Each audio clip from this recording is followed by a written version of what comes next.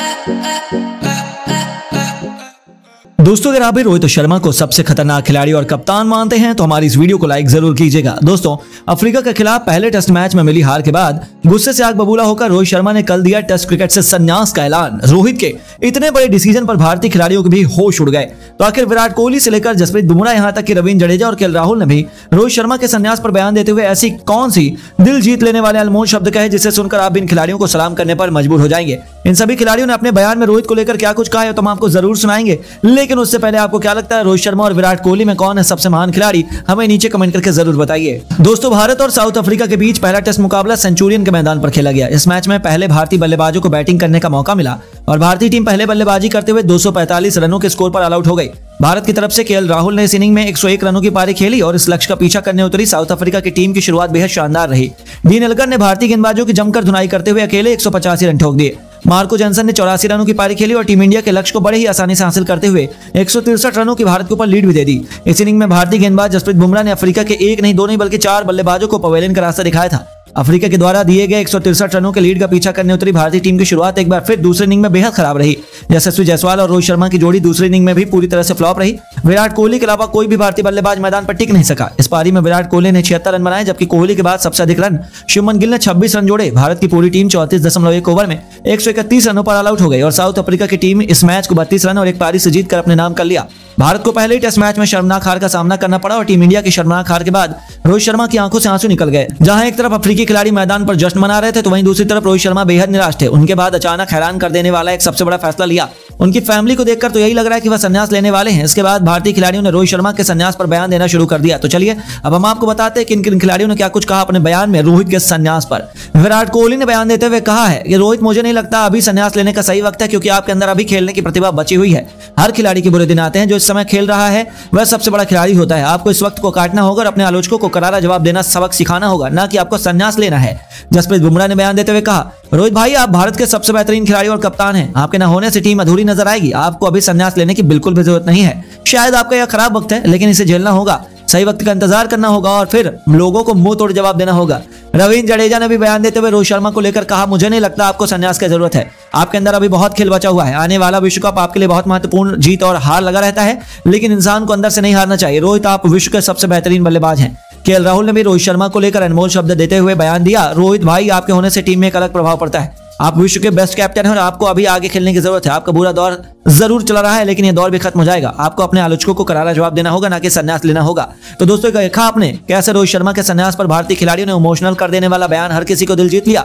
दोस्तों, अफ्रीका की धरती पर भारत के दूसरे इनिंग्स में शानदार प्रदर्शन दिखाने के बाद विराट कोहली ने अपने ही सबसे अच्छे मित्र एबी डिविलियर्स का मैच खत्म होने के बाद बीच मैदान में पैर छू लिया, जिसे देखकर तो खुद एबी डिविलियर्स की भी आँखें फटी की फटी रहेगी। तो आखिरकार विराट कोहली ने क्यों छुए एबी डिविलियर्स के पैर। क्या कुछ दोनों ने करी लंबी देर तक? बातचीत क्यों इमोशनल हो गए विराट कोहली? अफ्रीका की धरती पर विराट ने कैसा दिखाया अपना प्रचंड रूप? ये सब कुछ हम आपको अपनी इस वीडियो में ज़रूर दिखाएँगे। लेकिन उससे पहले आपको क्या लगता है? एबी डिविलियर्स और विराट कोहली में कौन सबसे महान खिलाड़ी है? कॉमेंट में ज़रूर बताइए। दोस्तों, भारत और साउथ अफ्रीका के बीच पहला टेस्ट मुकाबला सेंचुरियन के मैदान पर खेला गया। इस मैच में पहले भारतीय बल्लेबाजों को बैटिंग करने का मौका मिला। भारतीय टीम पहले बल्लेबाजी करते हुए 245 रनों के स्कोर पर ऑल आउट हो गई। भारत की तरफ़ से के राहुल ने इस इनिंग्स में 101 रनों की पारी खेली। इस लक्ष्य का पीछा करने उतरी साउथ अफ्रीका की टीम की शुरुआत बेहद शानदार थी। डीन एलगर ने भारतीय गेंदबाजों की जमकर धुनाई करते हुए अकेले एक सौ पचासी रन ठोक दिए। वहीं मार्को जॉनसन ने चौरासी रनों की पारी खेलकर और टीम इंडिया को लक्ष्य को बड़े ही आसानी से हासिल करते हुए एक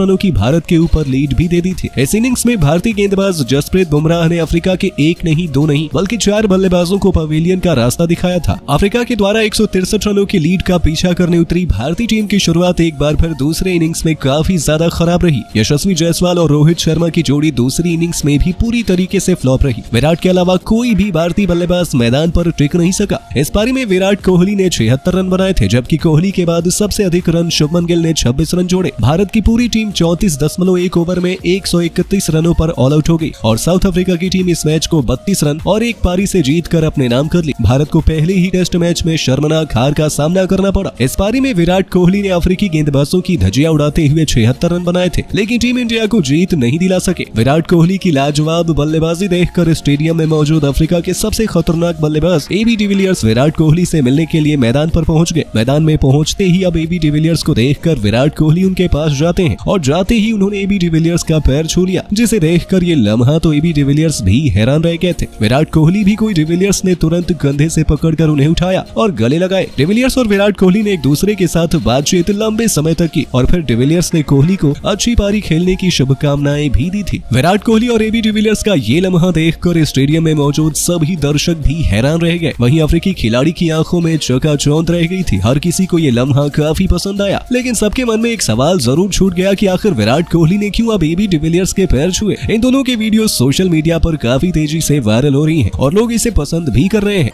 दोस्तों, पहले टेस्ट मैच में टीम इंडिया को मिली शर्मनाक हार।